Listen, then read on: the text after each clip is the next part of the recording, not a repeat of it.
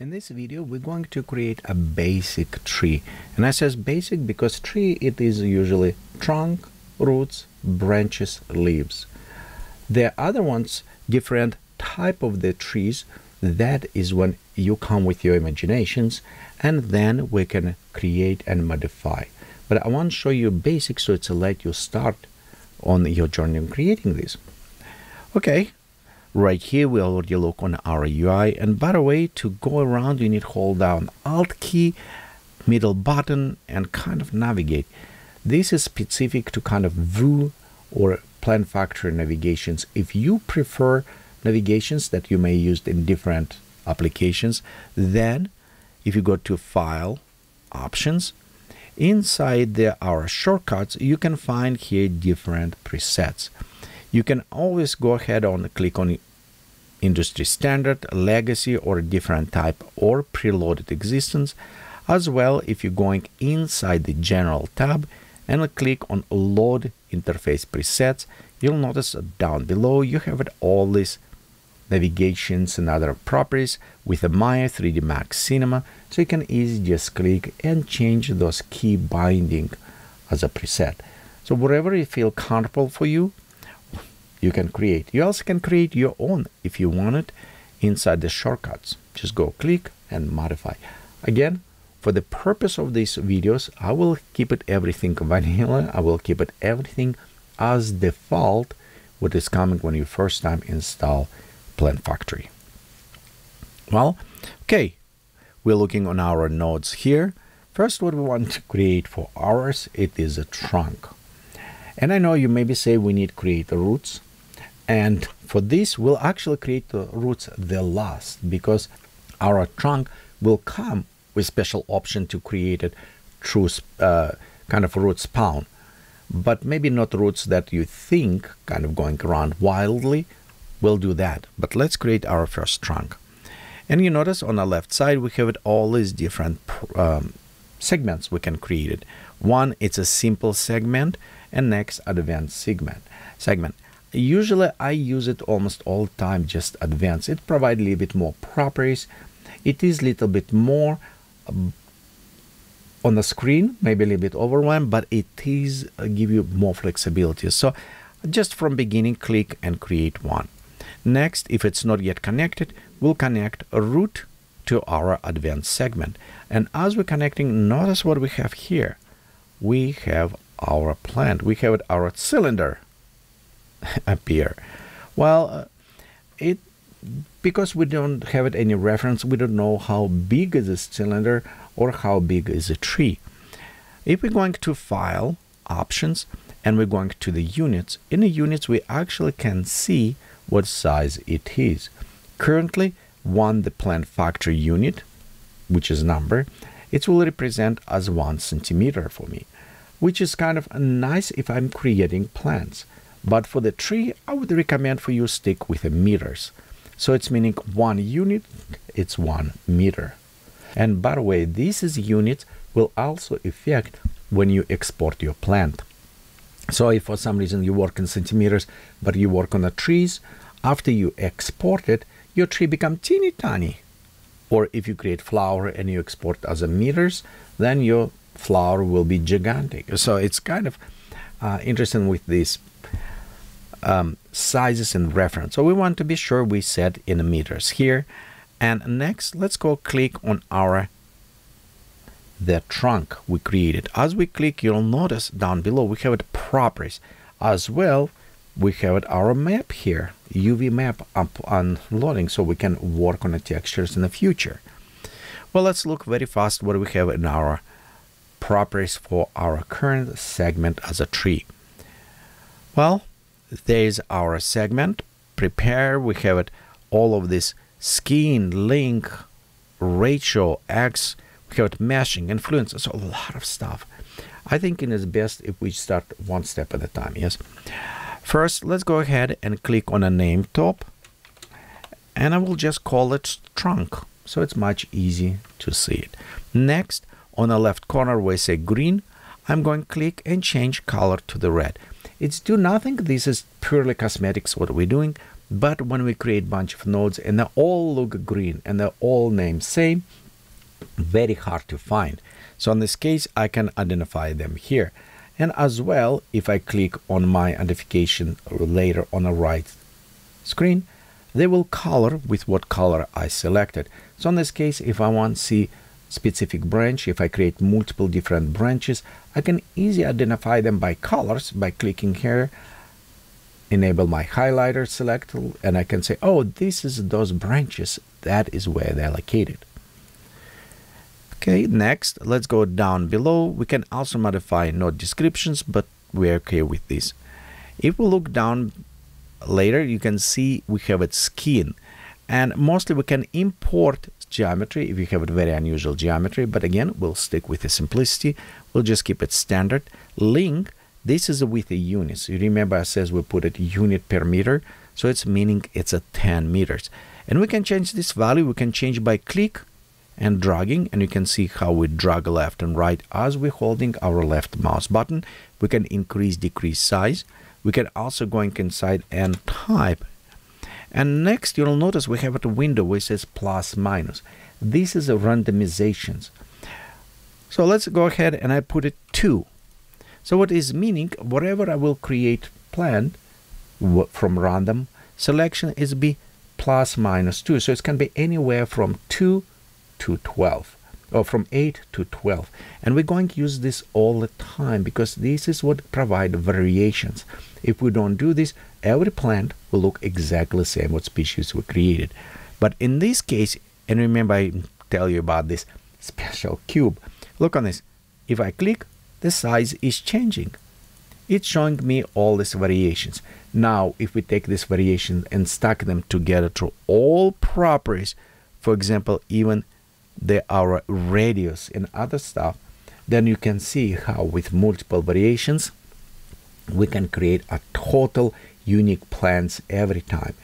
And if you work with like Daz Studio or everything where for example those variations won't be um, animated you can simple with one click on a button you can create so many variations of plant export them and now you can have it not just a one plant now you can have an unlimited amount of the plants. They can have it collection and sell as a collections or use it as a collection with all these variations. Well, uh, next to this, if we look, we have those kind of squares. And this squares is a filter. If you click on this, you'll notice it's open for us where we can filter, where we can add additional points, we can modify them, we can take the points and create them smooth or any other things and we can modify.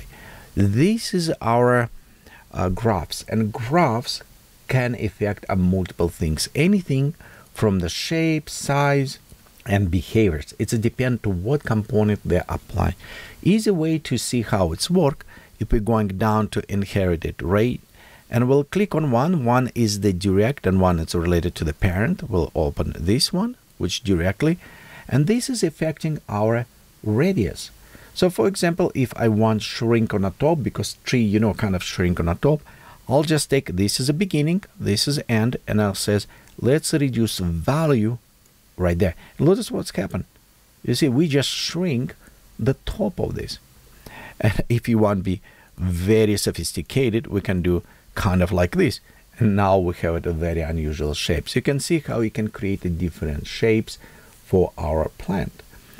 And sometimes plant may be going bigger, smaller, bigger, different types. Like I think it's a bottle tree or something, which is have it kind of on the middle, funny looking things. You know, like this expand on the middle and all that stuff. So you can you can totally play around with this. Well, I'm going to delete this nodes because I don't need it. I'll just keep it one like this, little bit thicker on a bottom and thinner on the top. We'll click OK. And of course these green ones it's when you have a parent and you're related to the parent but we'll look on this later. The also rate you can change. And notice this is in the percent so you can originate from the our root point. We'll leave it as default tropism this is will affect more to the branches that allow them to affect by gravity we don't need to worry about this The X control, this is help us to modify how the X going. So let's go click on a gear and now we have our three-dimensional preview. Notice we have additional points here on the side. What's happening if I move this point like these directions? Okay, we don't see any changes yet. And I'm just going to change like this twisted. Click apply and look on our plants. Now our plant is switching. So this way we can modify a little bit shape how our plant going because sometimes plant may going down. We can modify this also with the different effectors if you want to create more um, kind of randomizations. But this is generic if you want to create special shape for specific element. Remember, right now we work just uh, on the trunk, but it's maybe also work with the petals on a plant or any other ones which have specific, or like bananas. Think about banana shape. So right here we can specify. Well, I'm going to cancel this. I'm going to beginning, but this is we can modify. They also have it all additional of smoothing everything. We'll look on those a little bit later. We cop it was on the top right here. And right now cotton top, we can also just modify what type we can have it, including our cup profile. So if I go put it up, you can see now it's kind of going soft and smooth. And that's probably what I want to do for our top cup. By the way, double time click on the line will create additional point. We'll do this way and we'll switch to the softer look because it's organic. I'm going to just like this apply here. Click OK. Just give you a small tip. You know how sometimes you have a bark and maybe inside like bark around the tree. See if you take this stop and bring down, now we can have this kind of inside and create like bark outside um, ring of the bark. So you can you can see how this can be useful in many situations. Okay, we'll click OK. It's what we created. We leave it offset and smoothing. If we need it, just enable so smooth. We don't need it because it will be on the top. Nobody see it. Well, bottom cup, we don't care at this time. But here we come below and right now it's just silly cylinder sticking out. Let's go ahead and add roots. And I have say on a specific, we can almost to any segment add roots. Right here we have a root flare. If we expand, it's currently disabled. Let's enable this. And notice now we have our root flares. We don't necessarily have those roots, you know, they're going around weird, which is we'll do later. But general, here's our properties. And you can modify how many you want of those flares. I will set five and we're going to use this random. You remember how I said, we'll add 2. So it's anywhere from 3 to 7 will be randomized this way. The height of them, currently 1. Let's randomize, add 0.2. I almost always will add randomization because it just cool because we just need to create this and you can see how it's changed already. See, it's a different. Every plant will be different. So next we have a depth. We currently 1 and you can see this is our depth. There you go with this interactive preview, it's actually very cool because you can see how it is affecting, yes, straight. Well, we go back to default one and we'll put it 0.2 points. Width, again, this is how width is going here. And we're going set width maybe, uh, let's see, one. Width, too much. Yes, it's spread. I know some plans do this, but not in our case. We'll go 0.3 and we'll put it 0.1. There you go.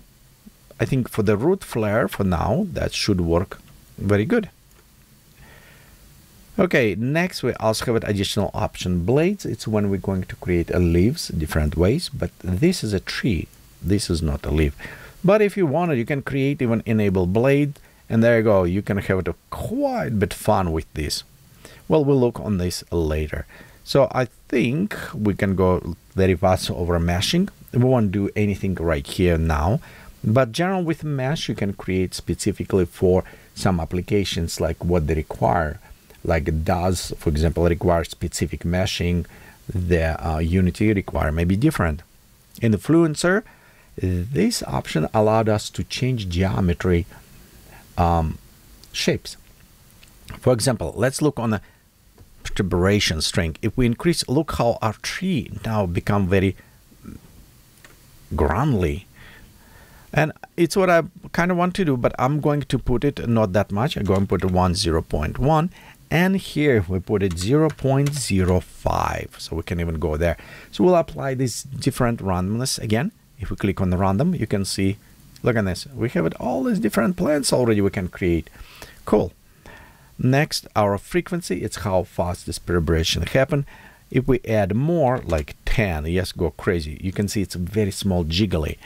And if you add less 0.5 will be less. I think actually, yeah, let's go put it 0.5. Let's put a little bit less here and we'll put it 0.1 on the randomizations.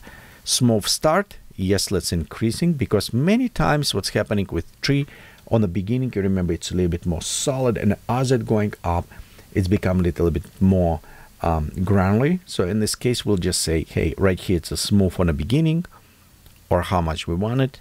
And as it's going up, it's getting more of this. Next, we have a local base, and this is additional effect, how we can modify, including um, interaction with the plane. And we'll look on this a little bit later when we start working on roots. We also have options here for our breeze material, and this is just to effect if we want to enable wind and preview, but right now let's don't worry about this. Materials, Materials will apply globally. We'll come back to specific when we start work on materials. Transformations allowed us to change in a global like X, Y position if we want offset, put it up in the air. Changing currently, we don't need worried about any of those global transportations. And we don't have any children yet. And the children is we can add um, branches or other things. And that's what we're going to do in next video.